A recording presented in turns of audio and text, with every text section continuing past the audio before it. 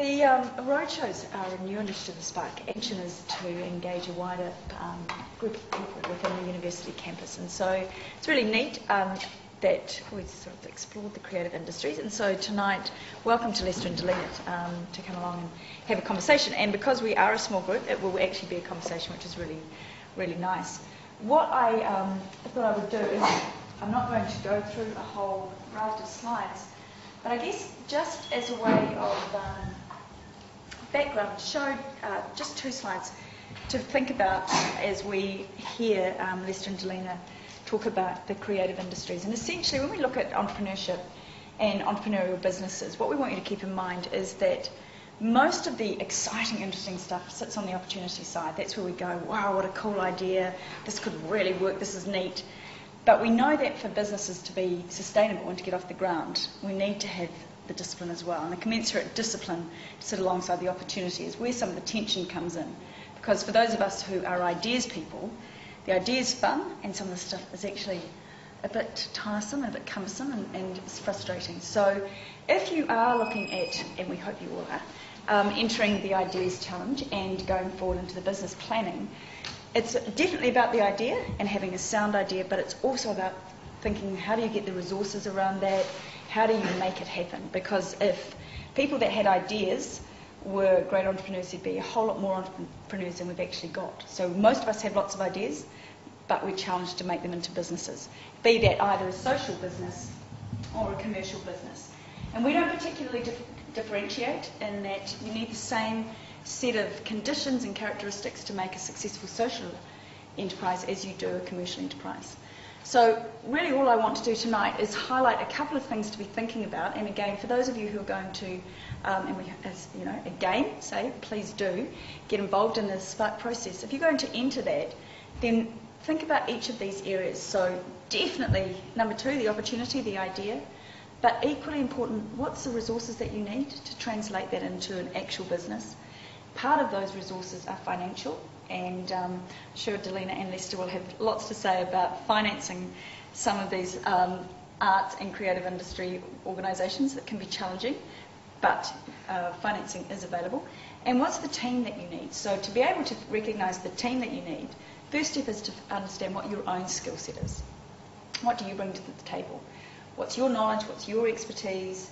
What's your skill set? And then looking honestly in the mirror what are the limitations of those skill sets? What else do you need to sit around that that will actually take an idea to market? So if you're the person that has the technical know-how, you're the person that knows the, um, the marketplace, etc., that's great. Do you have someone around you who has financial skills? Do you have someone around you who knows how to actually take an idea and turn it into business? And um, Sonali mentioned the, the team builder component of the Spark website. Have a look there. So if you are thinking, oh, got this great idea, but I'm not sure who I'd you know, bring into the team to work with me on this. That's a way of, of um, building your team. And then thinking, that's part of thinking about who you are as the founder. So what does your skill set look like? What does it look like in relation to the other people that you need? And that all of those components need to be well thought through. So yep, there's lots of emphasis on the idea, lots of consideration given to does this idea actually look like a market-driven, realisable um, initiative, but equally how that actually happens is all of these other things. So I'm not going to go through these slides, but there are some additional slides um, that are available on the website and you can find. So if you are looking to actually backfill some of this um, information, then please feel free to do that.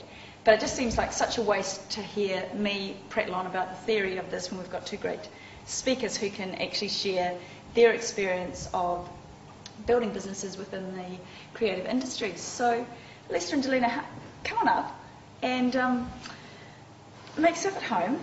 And how do we want to do this? Is it? Yeah, well, I mean, who wants to go through this? You have a few comments? I'll move this over a bit so you can actually see. You've got a presentation?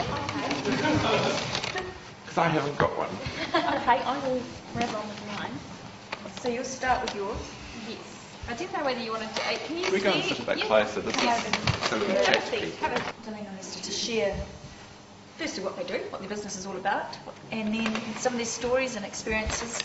Oh, good. We'll pretend we didn't do that.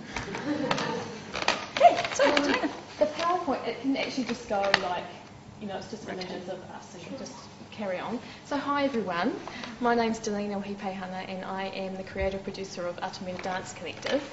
And um, I prepared a bit of a presentation just based on the questions that I was emailed by Yeah, yeah. Yes, through- yes, yes. which was um, I've been asked to briefly capture the company, what it is and what it does, how did we get into it, how was the company formed, uh, what is the business model, i.e. how do you make money, which is kind of a funny one, and um, what have been the key learnings in forming this company. So I'll just talk a little bit about us to start off with. Um, yeah. We're a Māori contemporary dance company uh, and we create and present Māori contemporary dance theatre works in Auckland nationally and internationally. We're based in Auckland and the collective is made up of choreographers and dancers of Māori descent. We largely work with four core choreographers to create full-length works, but we also provide opportunity for other young choreographers from within the company to develop their artistic practice through smaller choreographic workshops, mentoring and small performances. So what's on the imagery behind are just various works that the collective have created over the years. Um, the focus of our work is often of expressing the experience of being Māori in today's world, um, conveying the energy and spirit of the Māori people, and our work is often inspired by Māori concepts, history, personal stories, whakapapa or genealogy, and commentary on cultural and current issues. So, how did we get started? It all began as a conversation between four of us around a cafe table in 2000. Jack Gray, who was the founder of the collective, had graduated from the Unitec Performing and Screen Arts um, degree in contemporary dance, and he saw a sort of a gap in the industry in terms of the work that was being made at the time. Um, Taiao was a Māori contemporary dance company that was making work in the 1980s and 1990s, and they hadn't performed since 1995. There was a group called Tamaki Dance, which was kind of keeping up regular dance training for Māori dancers. But Jack saw an opportunity arising out of the fact that there were now so many kind of tertiary dance training courses around the country, the School of Dance, Unitec, um, they're kind of everywhere now, AUT, the university's got one. Um, so he kind of came up with the idea of a platform for emerging Māori dancers and choreographers to come together and make work. So his whole idea, and it still is kind of his whole vision, is for a collective of like-minded people to contribute ideas and work together, uh, coming from a contemporary dance space. So expressing ourselves as Māori, but not necessarily through kapahaka or the more kind of um, obvious ways. So over time, the collective has grown from four members to 10 core members and kind of 10 additional dancers. And the whole time we've really tried to stay true of the idea of working as a collective, even though I'd say that out of the 10 core members, there's nine on the opportunity side and one on the discipline side, and that's me. Yeah. So uh, following our first show in 2001, Jack went overseas, so I took over managing the collective, although at the time we didn't even really think of managing, does that mean? It was, it was just the organiser, the coordinator, you know, we hadn't really got our heads around any of that kind of business stuff. And like a lot of other um, contemporary dance and theatre groups at the time, we were project based. So we were kind of doing one project a year, you know. So do we really need to be a, have a legal status if we're just kind of doing, you know, all that kind of stuff? So um, we really didn't think about things like legal status. We didn't think about compliance. We didn't think about the IRD or tax or anything like that.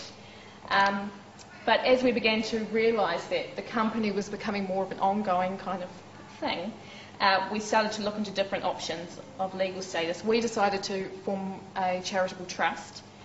Um, we had been operating as a partnership without realising it. Our accountant just had decided to give us the status because we had to be something. Um, so it took us several years to get, kind of get that right. We actually didn't form the charitable trust and incorporate it until 2007. So that was seven years it kind of took us to get the trust deed right, work out exactly you know what we were trying to do. Um, yeah, that there were some key reasons behind us becoming a charitable trust. Um, some of them were that other similar dance companies were charitable trusts.